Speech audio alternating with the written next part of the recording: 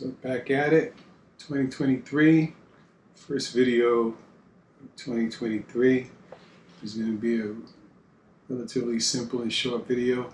It's going to be the installation for the Air Sandman S Keymo on our 300 blackout.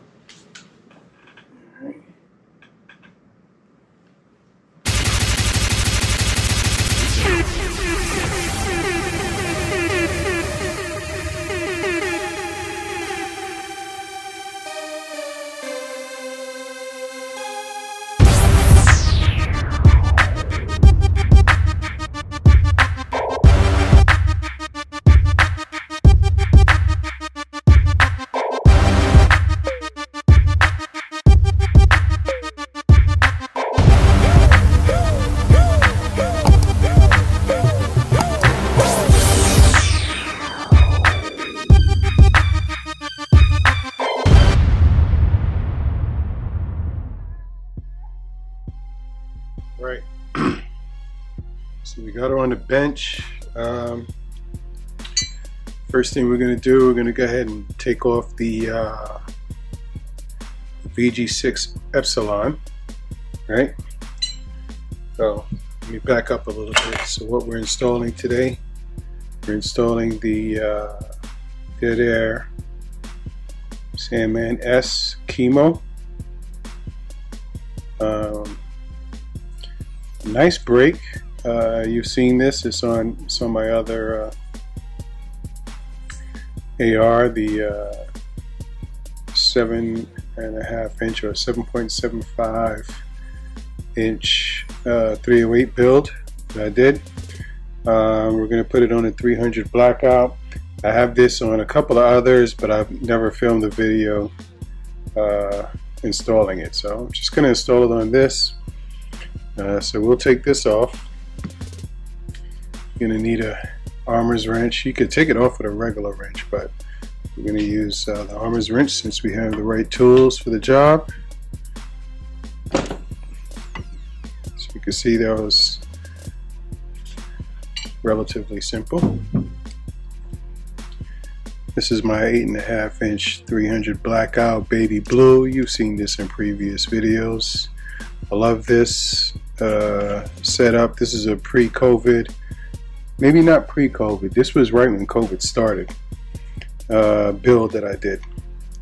Anyway, um, just to give you an idea of what I had on it. I don't know if that's focusing, but it is the VG6 Epsilon 762. If you can see that, see if we can focus. If not, it's all right. But I love this because it is a, uh, it's not just a brake, but it is a flash hider. So you'll see your three baffles right here. One, two, three. You got your ports coming out the top. Keep it level. Then you have your prongs, uh, your flash hider, um, to go ahead and mitigate that flash. So I love this. Uh, I have it on a, another rifle. I'll probably be um, probably be uh, well putting it on another one, another build. It depends. Um, I'd, I'd, prefer to have the, the Keymo on all of my rifles uh, simply because you know I'll be dropping suppressors on all of them, or I would like it to I have a million suppressors. I don't. and this is why you get a multi-can. You get a multi-can so you can go ahead and have uh, suppressors on multiple firearms. Uh, this is the Dead, Dead Air Sandman S. It's a 30 cal can. Uh, can. You could drop this. You could shoot uh, up to six six five Creedmoor uh, on that. Uh, 300 blackout 65 Creedmoor if you change out the end cap on here you can shoot 556 223 um, and you know it's, it's just super versatile. Uh, one of the industry's um, preferred cans. I mean there's plenty more but this is what I got. Alright so you have your dead air your Keymo. Um, basically we're going to go ahead and install this. We're going to time it make sure these three ports that you see here are uh, level and faced on top. Um, easiest way that I find to do it, I just go ahead and screw on until we get to uh, a point where we can see where those ports are facing. So this is this is uh, way off, right? So what we do, well, what I've what I've seen on the internet and I've done in the past is I've uh, backed it off, right, to see where it lands right there. You'll see, I don't know if the camera's picking it up, but a little grip there, a little space there, a little gap. Um, we have these shims. Um, so these shims and these shims are a little bit different, right? Both of them are from Dead Air. Uh, these shims come with the suppressor and they all have notches in them. Uh, let me see if I can show you the notches real quick, just a second. They all have notches. This one has two notches. I believe the two notch is the flimsiest one. Uh, we'll put this to the side. Let's find one with one notch. Oh no, the one notch is the flimsiest one. This one has one notch. So you can see that. And then there's one in here, if I haven't used it, that has no notches. This is the thickest. And you'll you'll see that here. So basically what we're going to do is we're going to uh, figure out how many of these shims are needed and the way I do it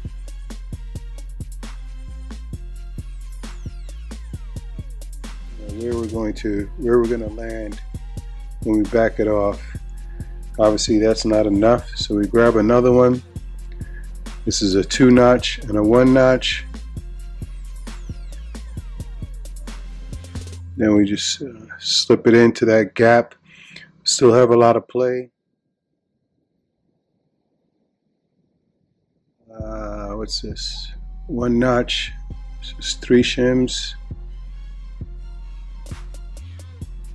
I'll drop it in nope. Oh, just lost one. Alright and I'll get another one.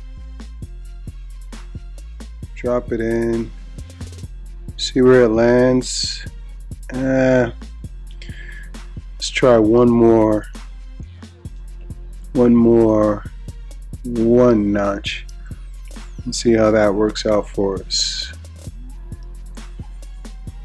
alright so that kind of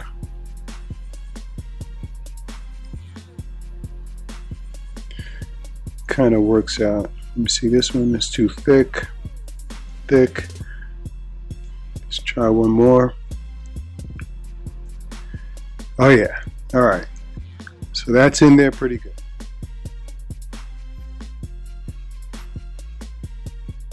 We're gonna back this off. And listen, this is uh, trial and error. you know, get it, get it right as best as you can. Back that off. We'll take this this stack, it's four shims, slides right on. Then we'll go ahead and get it back on. See where this lands. So this is perfect right here. That works for me. So what we're going to do is uh, we're going to tighten it down. We're using uh, Quinn. This is already set to 35.8. I'll do 36. Uh, the recommended torque is uh, 35 to 40. Uh, so you got your, there. Pop it in. You want to go ahead and grab your armor's wrench and uh, Get it on there. I'm gonna grab this. Well, let me put it closer to the edge. Well, let me do this. Make it easier for me. There we go. Grab to the edge. Lock us in. Now, still haven't broke it and add another shim in there. Clearly we need about a and this is going to happen a couple times. It might speed up this video. So this is a thicker one here. Uh, we'll drop two thicker ones on there. And then we'll uh, go ahead and put this back on. See where it lands.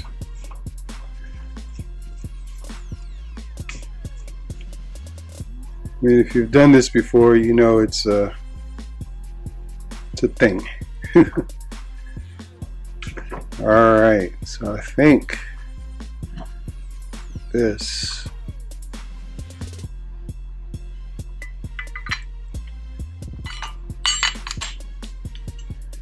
I think that's going to do it. The edge.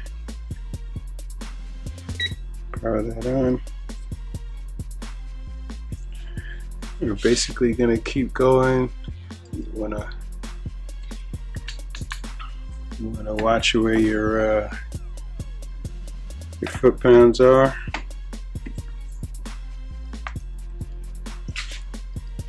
And you want to there you go. You heard that beep? So that beep lets you know that you're at 35.8.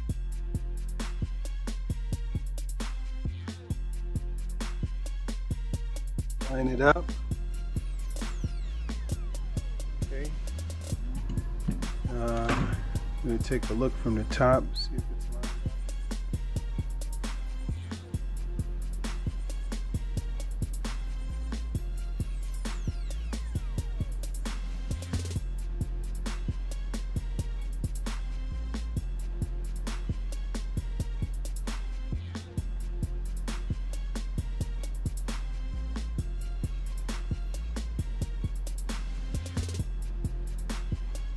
usually have a smaller uh, measure here. Gonna give it one more, one more good tug. There we go. See what that looks like. Mm, one more good tug. Now, don't get me wrong, I'll be taking this back off because what I want to do, and you don't need to, and I may not, uh, Loctite it. In fact, I'm probably not going to.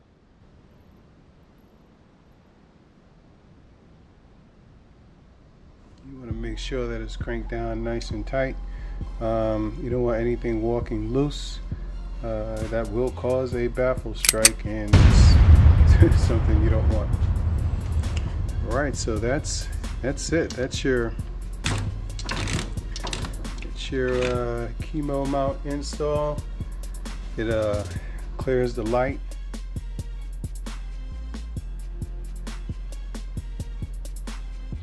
You know, debris uh, fogging up your light. I thought I had to take this off, but I didn't.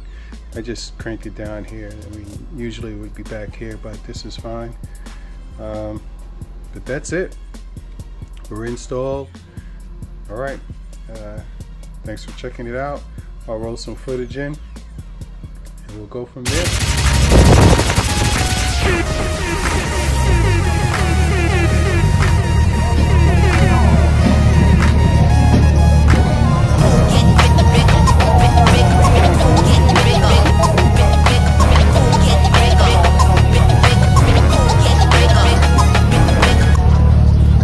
Outside, fam. We outside.